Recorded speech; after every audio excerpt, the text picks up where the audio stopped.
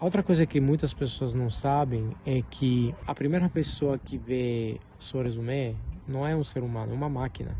Então, o que ela vai fazer é simplesmente analisar seu resumo e ver se as palavras-chave que estão na descrição da vaga fazem match seu. O que acontece?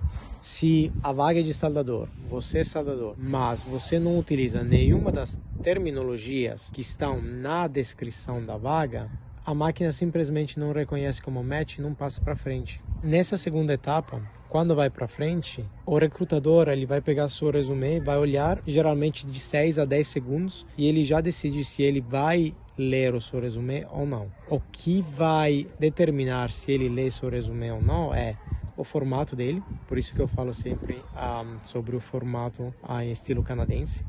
E se na prefação do seu resumo, nos seus objetivos, você fala alguma coisa relevante à vaga que captura a atenção do cara. Então o que acontece? Se você tem só um tipo de resumo e você aplica para 500 vagas diferentes com o mesmo, você está só perdendo seu tempo. Então é melhor você aplicar só para 10 vagas por dia, mas fazê-lo de forma eficaz que você sair disparando o currículo para todo aquele lugar.